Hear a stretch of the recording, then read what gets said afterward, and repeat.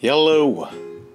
Derrick Lewis is one of those weird fighters where consistently he beats fighters who are more skilled than him. Curtis Blaydes had more tools, more threats, more overall options when it comes to mixed martial arts, but when it comes to Derrick Lewis, he leaves many of us wondering why? Why doesn't mixed martial arts work on him? Why doesn't mixed martial arts work on Derrick Lewis? He can comfortably handle a black belt in jiu-jitsu, jiu-jitsu, and combat sambo on the ground with his blue belt.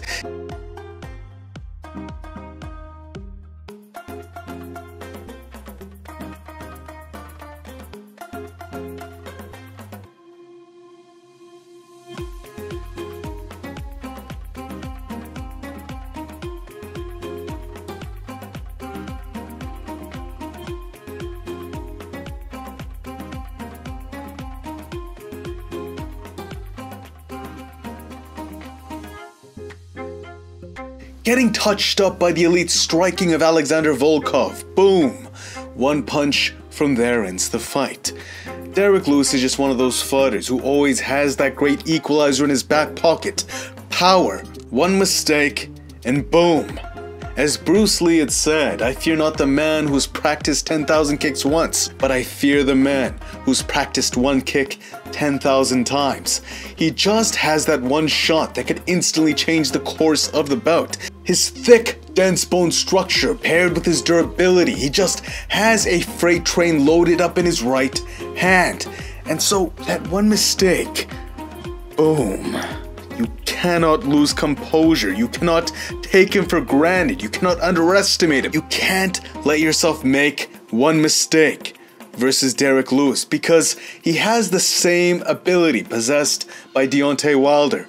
Even if you're perfect for 99% of the fight, all he needs is one second. You can be perfect the entire fight. He just needs to be perfect for one second. From there, the whole story is rewritten. In that sense, a fighter like Daniel Cormier, who can consistently apply various forms of pressure all the while making fewer overall mistakes, he can stifle out that great equalizer despite being a smaller man. Daniel Cormier is just tighter in his execution, more methodical, more intelligent in his overall approach without losing focus as he's consistent, as he mixes between wrestling and striking, which is why he handily stuffed the threat possessed by Derrick Lewis. But making that mistake, the moment you do, that's what we end up seeing here.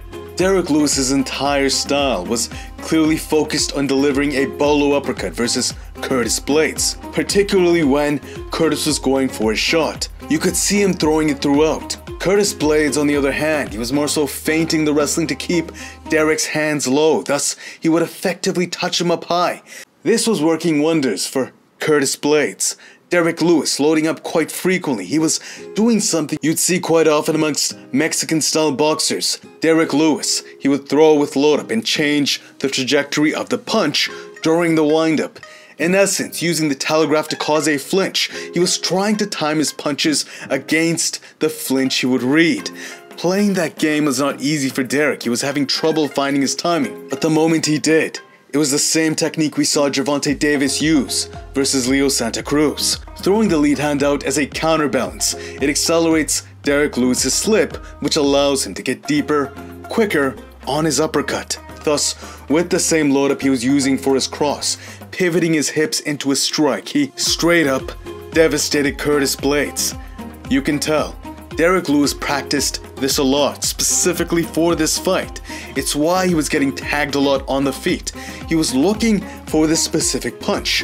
When you look for something in particular, it can leave you open elsewhere. That's kind of what happens when you try to force a specific move.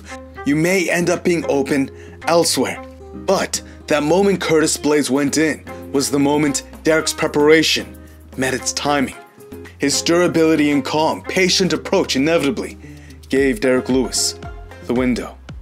He was touching Curtis here and there after all. Curtis Blaydes was inevitably going to shoot. His entire philosophy, after all, is I don't care if I'm boring. I'm going to feed my family. I'm going to win. And with Derrick Lewis, the risk of stand and bang was just too great. The feints as well, setting up the shot, they lacked intention. Derrick, calm. He didn't bite down on the feints. He could feel them for what they were. They weren't real strikes. It's a hard concept to explain entirely, but someone like Alexander Volkanovski, Corey Sandhagen, or Israel Adesanya, these fighters, fighters like these, they are masters at not just feinting, but delivering them with intention. They have intention behind their feints. They put slight body weight to help sell the feint, sell the lie. They truly make you feel like they're going to do something. Intention. It's an emotional intelligence arming their feints with the illusion of real intention. They don't just pump out an arm, they treat all of their feints like an art, full of intention. But with Curtis Blaydes, they did not have the intention to actually fool Derrick. Thus, when he went in for a shot, Derrick Lewis, he saw it a mile away. Boom. Straight up collision. With the G forces involved between these two large individuals. The lights, they just had no choice but to go out. You can't make a mistake on Derrick Lewis. You just can't make a mistake. When he possesses the kind of power he possesses, one mistake walking that tightrope could cost consciousness itself. That's often what distinguishes the elite of the arena. Just look at Daniel Cormier. It's not that they are the strongest or most physically imposing. Instead, the one who's trained a capacity, refined the ability to make fewer mistakes in the moment, the one who can consistently walk that tightrope of life. That's what separates them from the rest. That's an intriguing paradox, isn't it? The more mistakes you make in the gym, the gym of life, the fewer mistakes you'll make as you learn throughout that process. That is the game of life. To fall off the bike over and over again, to reflect on why, until you just stop falling and start building momentum. It's absolutely paradoxical, but it's a game we all play to some extent. To that end, thank you, Derrick Lewis and Curtis Blaydes, for this lesson. Thank you all for watching, and until next time, peace.